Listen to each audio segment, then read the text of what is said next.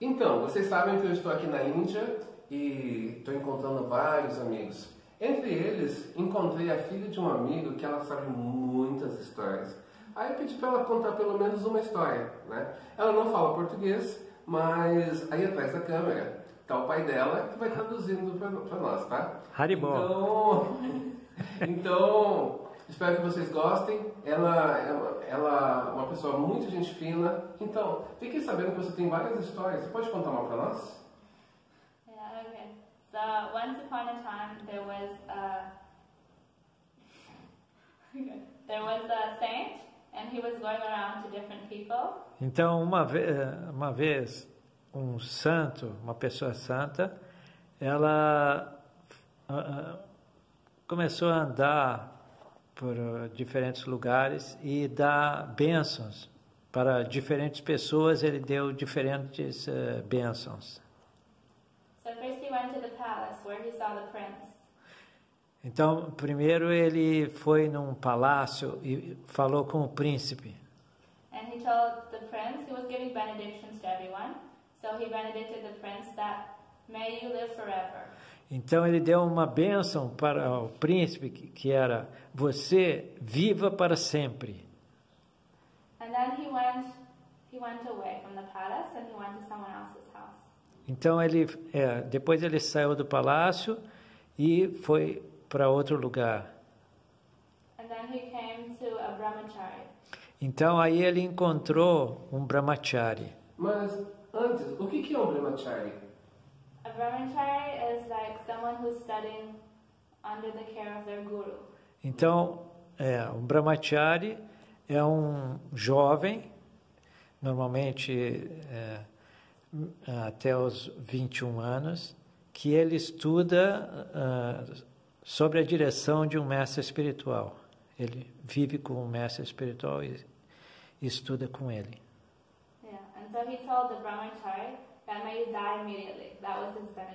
Então, a bênção que ele deu para o brahmachari é que você morra imediatamente.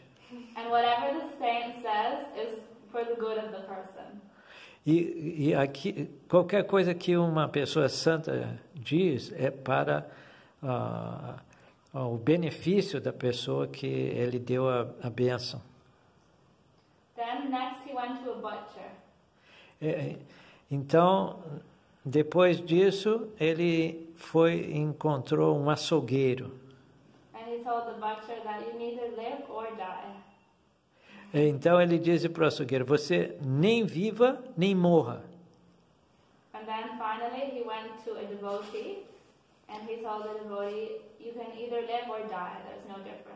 E depois ele saiu e encontrou um devoto, um Hare Krishna. E ele disse: Você nem viva, ah, não, você pode viver ou pode morrer, é a mesma coisa, não tem, não tem diferença. So basically it's like for the um, for the prince, either uh, yeah he shouldn't live. He should no he should. For the prince, he should live forever because while the prince is living, he's very happy because he has so. Então, para o príncipe, ele disse: Você. a- agora, uma pequena explicação das bênçãos. Para o príncipe, ele disse: Você viva para sempre, eh, porque enquanto você está vivendo, você tem uma vida muito boa, você pode desfrutar bastante. But then after when he dies, because he performed so much sense gratification, then after he dies he'll have to suffer the sinful reactions.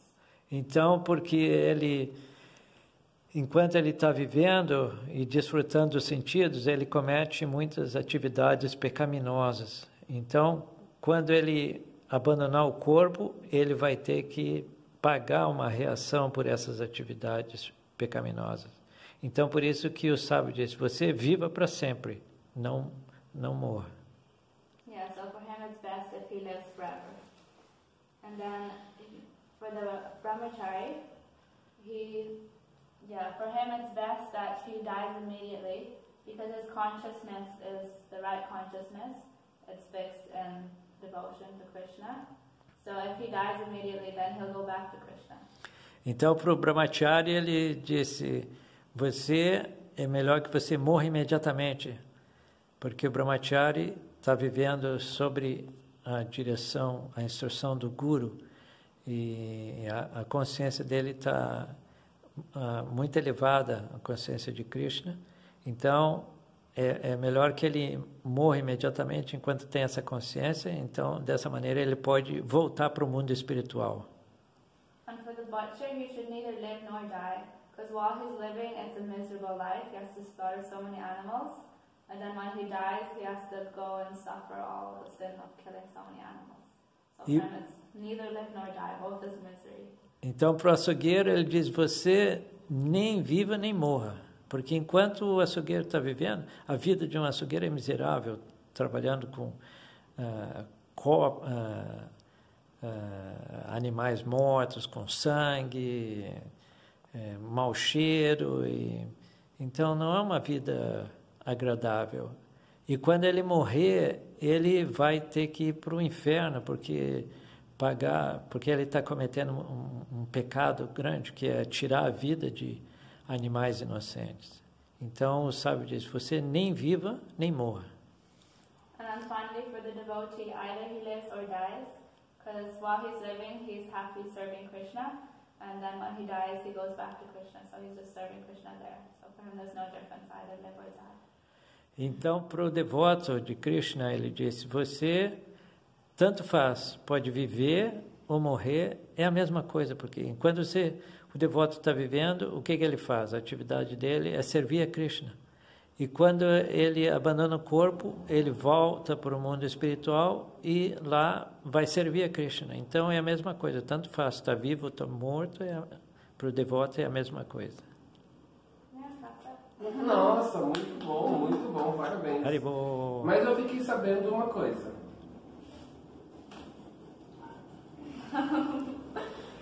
Que ela toca flauta também. Ó, Então, olha o tamanho da flauta que ela olha toca. só. Então eu pedi para ela tocar um pouquinho para nós. What should I play? Saregama or like? You